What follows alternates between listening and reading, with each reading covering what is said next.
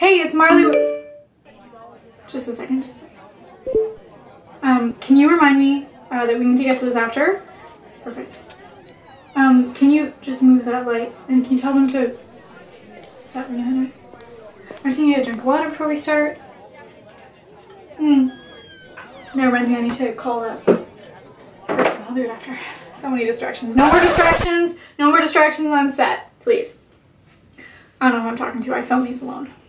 There are a lot of distractions out there that hinder us from getting our work done in a good amount of time. If you're a busy person, like everyone, getting more work done in less time is an important strategy to get through all the work on your to-do list. Being productive allows us to focus on the big picture and help us get to the next important step faster.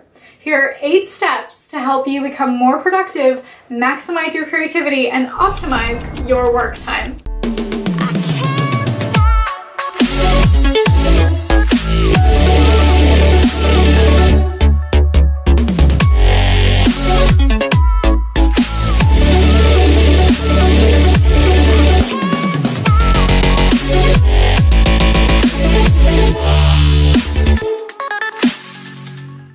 One, use the Pomodoro technique. I gotta give a shout out to Megan Minns. She's the one who taught me this from her YouTube channel, maybe it was her Instagram stories. She's on everything and her content is great. This technique I implemented into my regular workday and it has totally made a difference in how much I focus on the task at hand. So here's how you do it. Step number one, get an alarm and set it for 25 minutes. Focus on one task. If a distraction pops into your head, write it down, and go back to the task at hand. After the alarm goes off, put a check mark on a piece of paper. Consider this your tracker. If you have less than four check marks, take a maximum of five minutes of a break if you need it. Go back to work, focus on the task at hand, and repeat the first step until you reach four check marks. After four check marks, you can take a longer 30 minute break. After the break, reset the check marks back to zero and repeat the process. The goal of this technique is to eliminate the impacts of interruptions and focus on your workflow. Tip number two, the 888 rule. I began to implement this in the beginning of 2017. This is my personal favorite. I've done a few Facebook Live videos about it um, and it has been a, a really big impact on my life. I'll be honest, it doesn't always work out every single day. Sometimes I want to give myself a little bit extra sleep. Sometimes I've given myself a little extra me time and sometimes I've had to put in more work. Ultimately, it's about balance. The 888 rule is the intention to divide your 24 hours into three eight hour portions. Eight hours of sleep, eight hours of work, and eight hours for me. The ultimate balance. When I heard of this, that I could have eight hours for me, I was like, I, I can do that? It makes sense. It's all about balance. Tip number three, plan your next workday. I love this one. I do it every single night that before I go to bed, I get to my day timer and I plan the next day. I write it down um, before even doing the actual work. You're already setting up your specific goals and milestones that you want to finish tomorrow. So when you're crafting your to-do list, make sure to indicate the four main tasks that you need to achieve. These are your must-dos. Then start tackling the hard task first. Be sure to schedule time into your day that's non-negotiable. So maybe you schedule your gym time, just like any other non-negotiable meeting that you might need to have. You can't cancel a meeting with this client, same with you can't cancel your gym time because you need that. That way you're ensuring that it actually happens and it's so important to give that to yourself.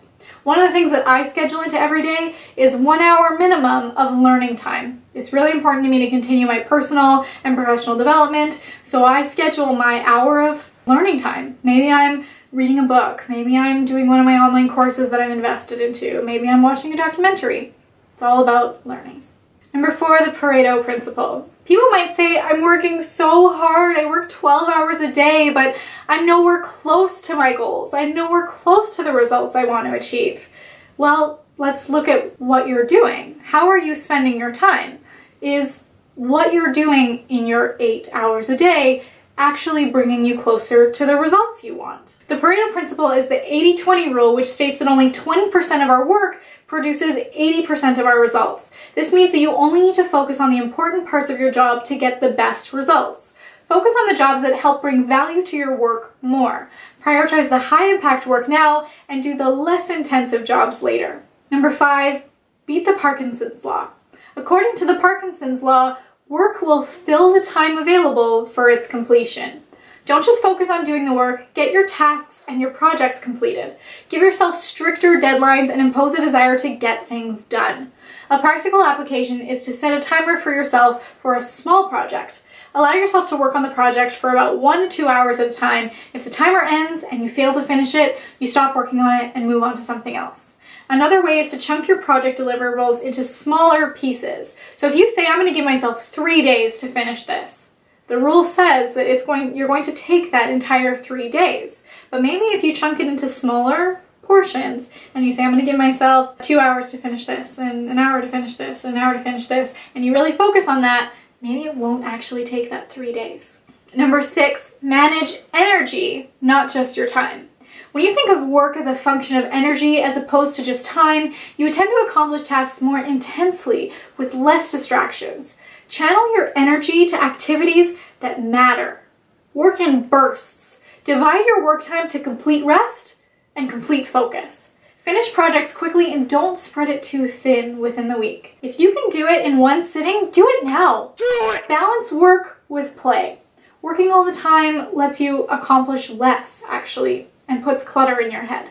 Number seven, time manage your meetings. I have a love-hate relationship with meeting. I love to meet with my clients and I love to connect with them and I love to brainstorm and come up with creative ideas, but there's also this potential that meetings can be unproductive and a colossal waste of time if they aren't managed effectively. If you go into your meeting with no purpose, you just end up spending your time stalling decisions and creating diversions.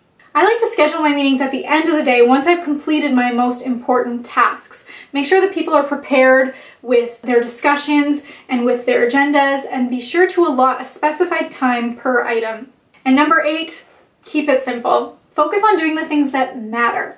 As much as possible, focus on the things that contribute to the success of your work and avoid spending time on the complexities. Keeping things simple will make for faster and more efficient decision-making time. By actually working for less time, you'll be able to do the things that matter and focus on achieving success. Striking the right balance of time and tasks is crucial to get more things done. And if you need guidance, a coach is a great way to achieve your goals and make sure you're on track. Thanks for watching. If you like this video, hit the thumbs up, comment below, share this with a friend that you may think this information may be valuable to, and of course, subscribe for more weekly videos.